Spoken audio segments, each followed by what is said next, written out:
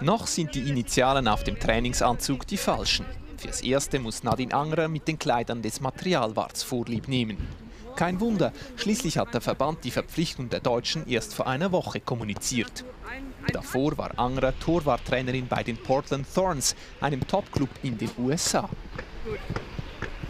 Ja, natürlich ist es äh, immer äh, ein aufregendes Gefühl, neu irgendwo hinzukommen. Ich war jetzt zehn Jahre, wie gesagt, in Portland. Man kennt alles, man hat da mit die Strukturen aufgebaut. Das war ja absolut äh, Leben in der Comfortzone. Und jetzt äh, hier in die Schweiz zu kommen, neues Trainerteam, neue Spielerinnen.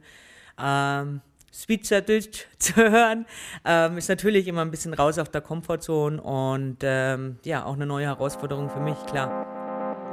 Eine neue Aufgabe für eine, die im Fußball fast alles erlebt und erreicht hat. Champions League-Siegerin, Weltmeisterin, Europameisterin. 2013 hält sie im EM-Final zwei Penalties und wird danach als Weltfußballerin des Jahres ausgezeichnet. Angerer ist ein Star, der Hut ihr Markenzeichen. Ihre Verpflichtung für das Schweizer Nationalteam kommt einem Kuh gleich.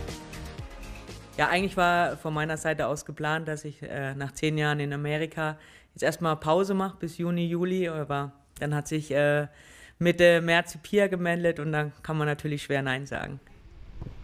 Schwieriger wird für Angere in den nächsten Monaten die Frage nach der Nummer 1 im Schweizer Tor.